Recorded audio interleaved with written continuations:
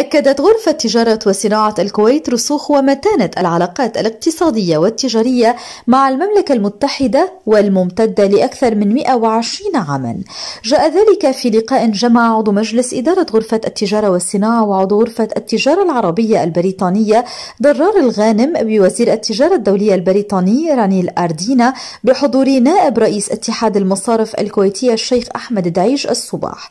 وقالت الغرفة في بيان صحفي أن اللقاء جاء بدعوة من السفارة البريطانية في دولة الكويت إذ تم التطرق إلى سبل تعزيز العلاقات الاقتصادية المشتركة مع الوزير البريطاني الذي أكد على أهمية اللقاءات الدورية مع القطاع الخاص الكويتي ممثلا بغرفة التجارة والصناعة. ونقل البيان عن الوزير البريطاني قوله إن حكومة بلاده تولي أهمية كبيرة للعلاقات مع دول الخليج العربية خصوصا بعد خروج المملكة المتحدة من الاتحاد الأوروبي. مشددا على أن بريطانيا تتطلع باهتمام بالغ إلى البدء في مفاوضات توقيع اتفاقية التجارة الحرة مع دول الخليج العربية.